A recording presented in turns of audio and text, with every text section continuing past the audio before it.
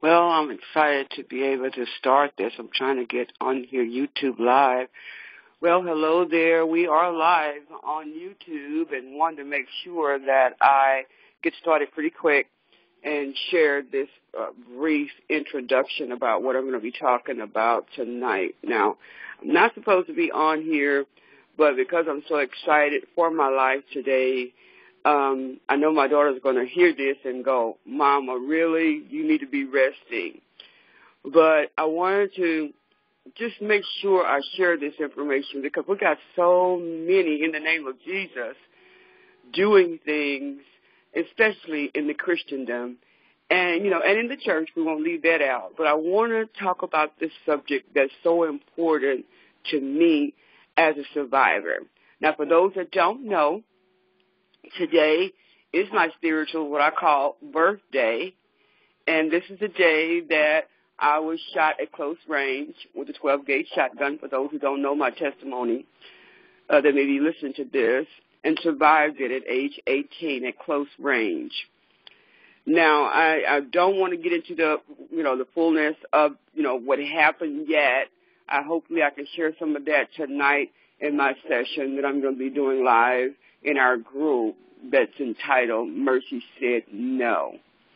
And I really want to share some things that a lot of relationships as relates to this topic that we're talking about here today, anointed abuse.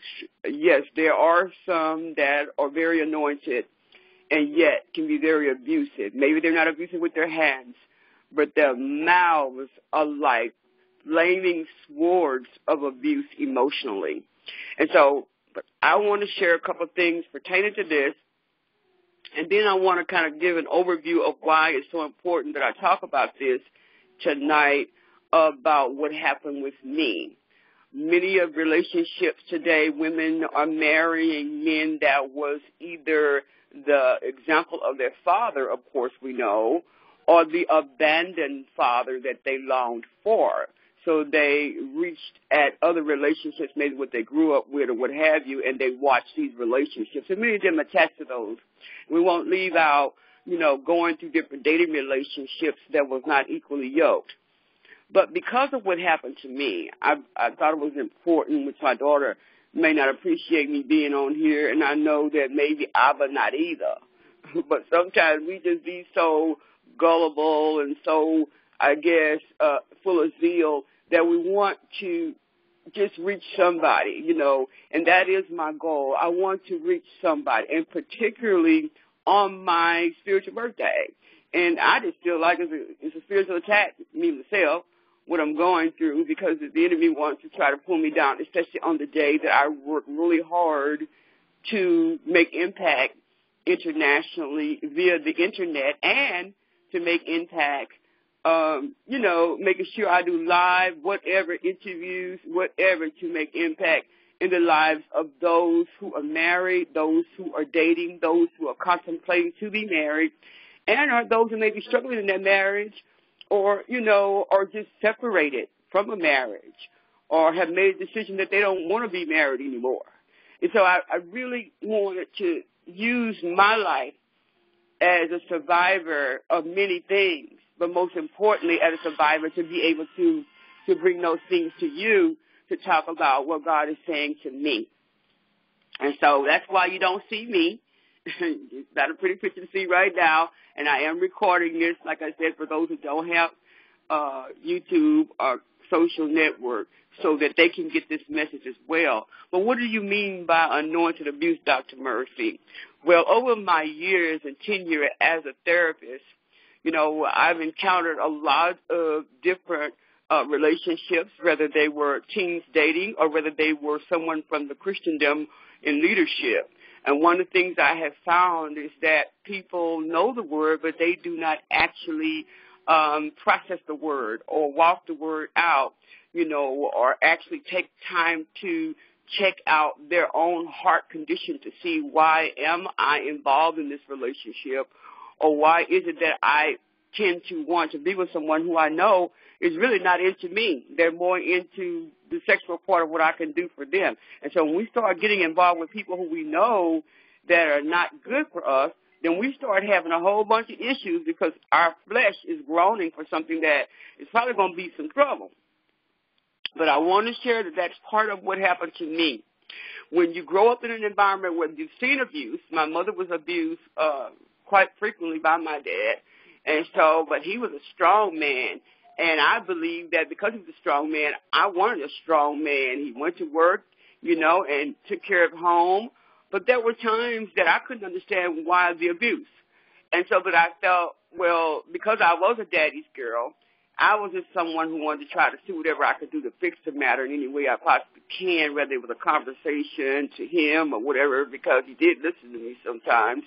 But I really believe that um, it is something that you are either uh, experienced as a child, or that you wind up, you know, you know, getting your first real male in your life that is an example of your dad, as I said earlier on, or is it simply that you are looking for this uh, imaginary or this type of uh, made, you know, made up in your mind that you would have for a mate, and then you look for these things, and really, we don't even qualify for some of these areas that we're looking for mates in when we don't even uh, have ourselves in the perspective of, you know, making ourselves available to be equal in what we're looking for. And so pretty much myself. I wasn't looking for anybody because I felt like uh, I wasn't worth anything anyway. I felt like that I wasn't pretty. Um, all of my sisters are beautiful, but I felt like I wasn't pretty. I felt that there were some things that as a girl that maybe I didn't get to make me feel self-worth. But bless God today that he is so good and he is so merciful that he allowed me to go through what I went through for you, for your family, for me to help a sister and a brother out. Now I want to make sure that this message is not gender based because the things that I will cover tonight concerning mercy says no in my own life and where I went uh, and where God has graced me does not mean that men are not being abused by some of these Jezebelic women.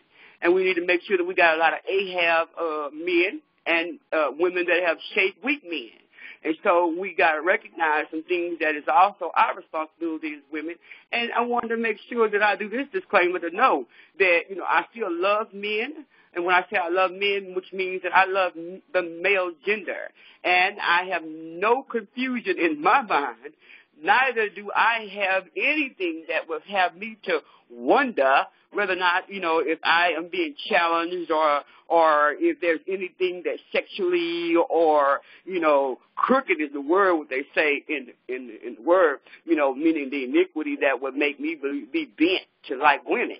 So I want to make sure, uh, you know, that God has graced me to be able to go through what I've went through and still loved. Why? Because I knew that the healing balm for the whole thing, as I began to study and recognize what I needed for Sandy, it was to forgive those first, because God forgave me, and to have mercy, and to have forgiveness for real. Many of us say forgiveness, but we don't have forgiveness for real. And so to forgive my children's father for trying to kill me uh, was a 15 year process. And I believe that this is the reason why the Lord is using me to talk to you today. You don't want to take that long. That's why He has survivors who can help you process. Some of you need to get some counseling.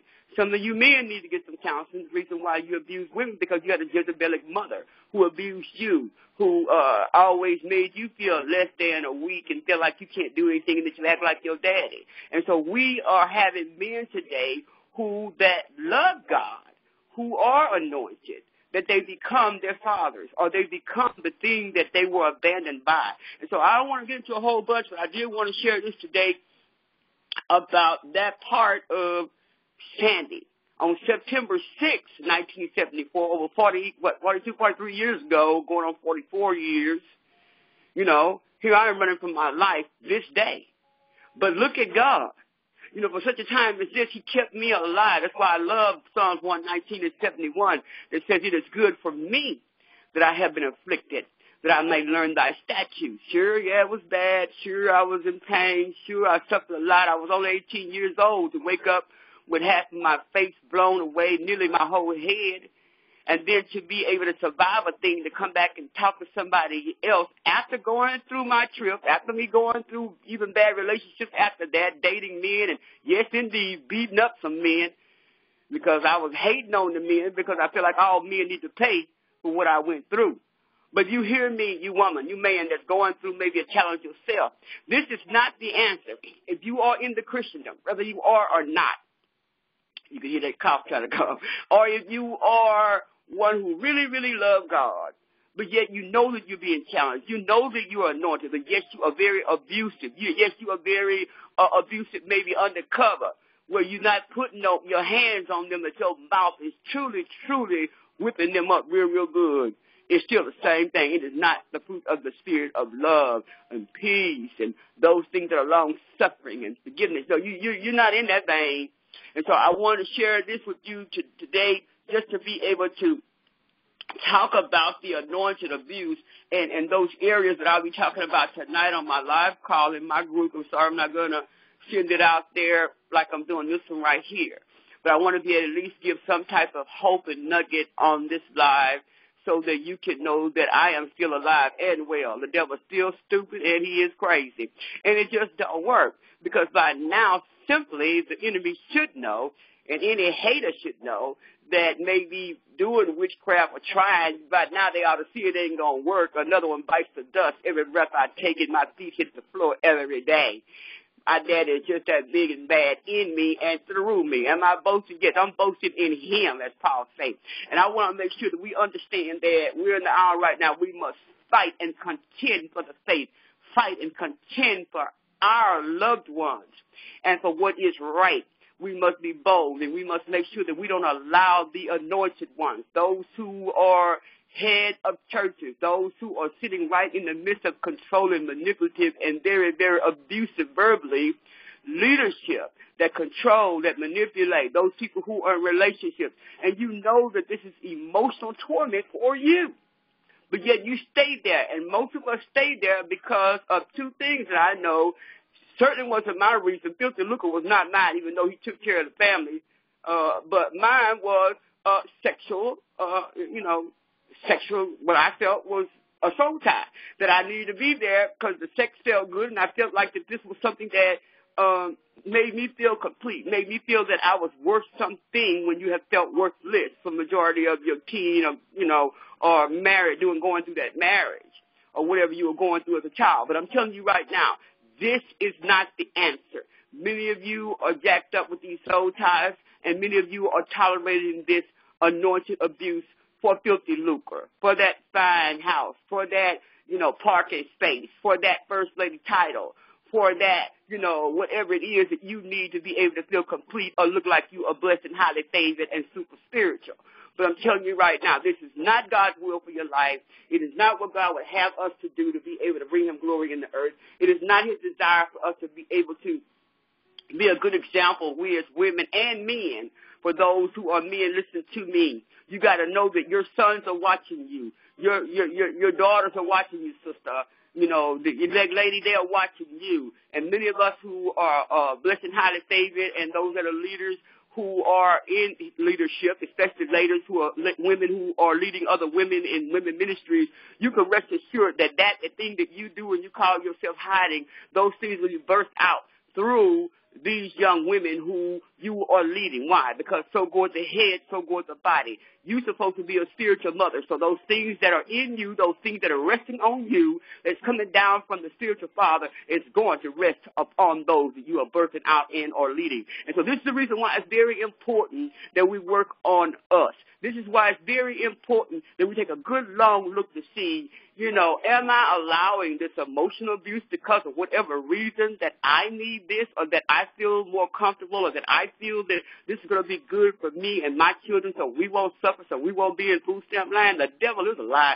I'll be in any line to make sure that I keep my lifeline. Okay, so what we need to understand is that it is not the religiosity uh, that we have got confused in Ephesians chapter five that you're supposed to stay there with uh, uh, with your husband because of what the Bible is saying that you need to make sure that you uh, be with your mate in all things. No, all things is not going to be inclusive with abuse, whether it's verbally or physically, and that is not going to be tolerated by our daddy God. He is a God of love, He is a God of peace, and He is truly a God of unity and oneness in a marriage and a relationship. And most importantly, I think that when you demonstrate this through those that God is leading, uh, that you are leading through, you know, the Holy Spirit is leading you to lead, I think then this will be able to birth out those who will be able to exemplify, you know, true love, exemplify, exemplify true unity and what a marriage and what a, a family should look like in Holy Spirit, not in flesh, so that people can,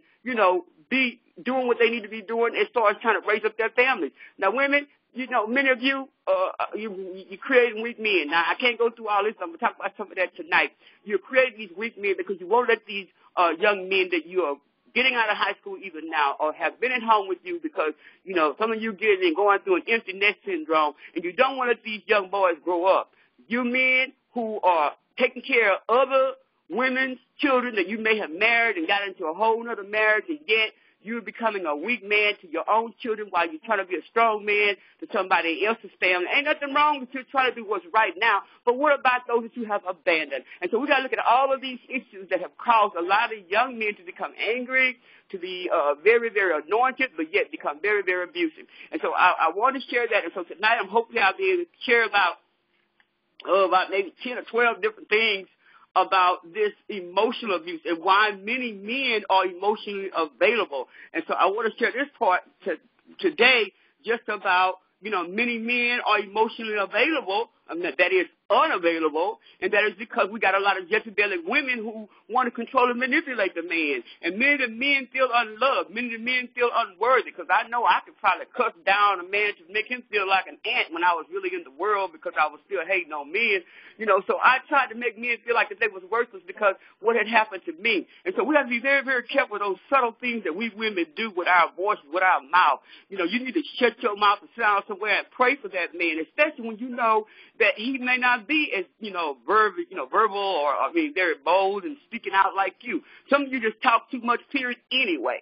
So when you're emotionally unavailable, that means you're not going to want to share your feelings. And many men avoid this type of thing because they don't want to be mocked in the way that they might come around you know, to say something that you may be expecting them to say it in a strong way that you think is weak. That's why a lot of men will not say what's really on their heart because many women undermine them with what they say and so they begin to shut down. And many of the women today, we got to understand that you won't, what your expectation is, a lot of these things that you expect out of these men, they can't give it to you because first of all, they don't even meet those qualifications. You're not even equally yoked, number one. You expect him to be someone or do something uh, or act like somebody at church or do, you know, or, or, or preach or do a certain thing or have gotten you to a certain point in your life when they never met those qualifications of what you're asking and you definitely didn't meet them anyway. It's just what's in your fantasy, fantasizing mind that you would want because of you feeling uh, uh, emotionally unavailable your own self. And so I want to make sure that you understand that men are usually going to be emotionally unavailable because most men uh, emotionally, they are going to be more intimate than they are verbally. You know, so they're going to make sure that they be more touchy than talkative. But we as women, we want to hear from them. But their coping strategies are completely different. And so this is the reason why you got to know your mate. This is the reason why you got to pray and fast and seek God. Because many of you have found the mate yourself, sister and you know you haven't allowed the man to find you. And then when they do find you, you so hungry, desperate for a mate, you can't even see that it was nothing but the enemy in the suit. And so you got to recognize the counterfeit from what God has called His Christ-like man for you. So being emotionally available is not easy for any of us, especially if we've been abused, been through bad relationships, been in and out of marriages. And I want to talk about that a little bit later on about those who've been married more than once. Uh, and so, because I've been there, and I'll talk about my uh, three marriages and what happened. The first one, of course, uh, the one tried to kill me. The second one was a drug addict, and the third one made a decision that he didn't want to be married anymore. I guess maybe because I was acting too preachified and too Jezebelic, which is truly right. I told him if I could have paid him to, to, to leave me or divorce me, I would have wrote him a check. And so I just wanted to make sure that we understand where we are. In this time, God is trying his very, very best to get us to hear what Spirit of the Lord is saying for such times as this. And so finally, I'm going to close with this. And I hope that those that are in the group will listen to what I'm saying and uh, give me and pray for me to have the strength to tonight to uh, carry this further when I'm going to be talking about mercy said no, but I want to talk about the tactics. I want to talk about the violations of trust. I want to talk about recognizing the anointed abuse and the emotional unavailability. There's my time. I got to go. And the emotional uh, uh, unavailability, and to the uh, to the point that many of you who are believers, I want to give some examples of some of how some of the ways believers tend to uh, be verbally tormenting, and they have these tricky type of tactics that they use when they how they say nice nasty type of anointed abuse. And I want to talk about that. Uh, it's really, really big in the Christians of today and want to share, uh, hopefully I can talk a little bit more later about how generally, you know, men who are emotionally available, you know, uh, are different with different women. And that's because of the way society is. And so and that's because some women in their lives have been strong-willed and are or Jezebelic. Their mothers probably always mothered them to the point that they even in their marriages now trying to mother them and being in their marriage. And so men become weak and, and, and women who are marrying these men who are still being mothered by their mother, you know, now they got to try to act like they're a mother rather than a wife. And so we got a lot of issues to cover con- concerning emotional unavailability, but most men being emotionally available is not just about sharing his emotions. It's about his openness with that person.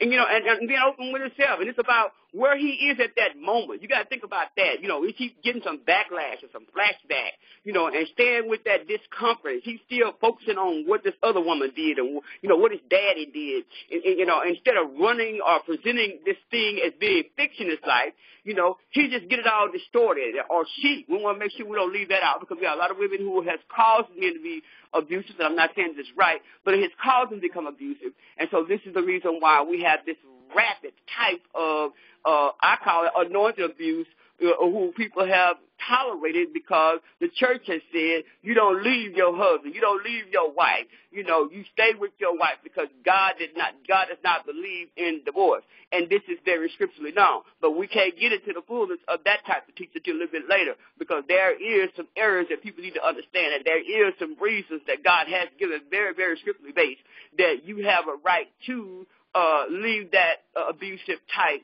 I rather call it this anointed, this anointed abusive type of marriage or relationship. Too many of these young girls are dying today. I'm tired of turning on the news and we got all of these different ones that every time you look up, like the man that was on there last night, talk, on, on the news last night, talking about he took cough syrup and and said that the cough syrup made him stab his wife to death. He didn't even realize that he did it. I don't believe that. I believe that the demon was already there. I believe that there was some things that was going on with him emotionally and still is. And we're in a society right now that we have a lot of clinical, uh, mentally ill issues going on that require counseling that we don't want to recognize that we got a lot of clinically um, anointed, abusive people in the body of Christ that have a form of godliness and that deny the power thereof, but they know how to act a thing out, but it's really not, it's really not real. And so it is a time right now for us to really start looking at this situation, and it is it is going to get very uncomfortable.